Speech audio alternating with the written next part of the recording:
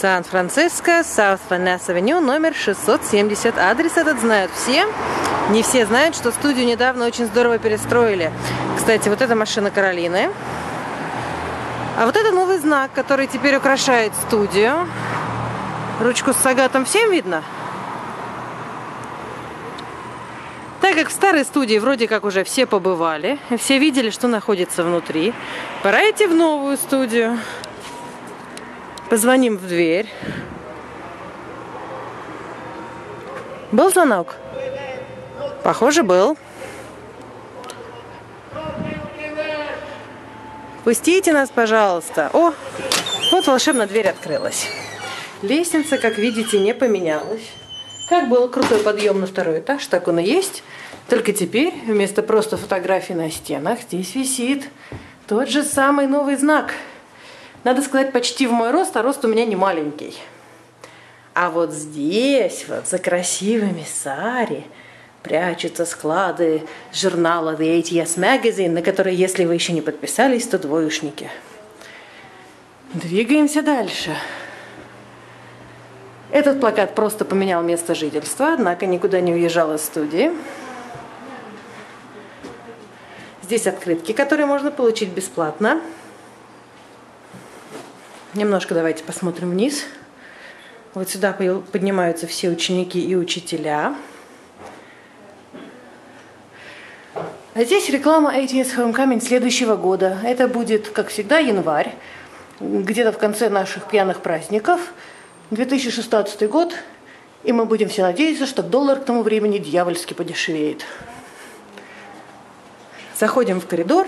Первое, что видим, огромное полотно – которые шили американские девочки из футболок с логотипами своих студий.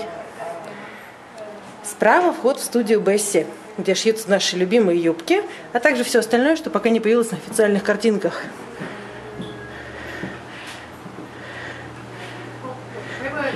В студии Бесси работают Кэтлин и Каролина. Happy to see you! I'm doing a little tour. Oh, look, how beautiful Kathleen is. Смотрите, красавица Кэтлин? Да. Вот. Сейчас они создают какую-то новую уникальную вещь. А это одеяло вы узнаете.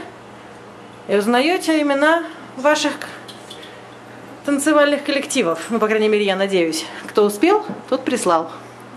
Идем дальше в студию.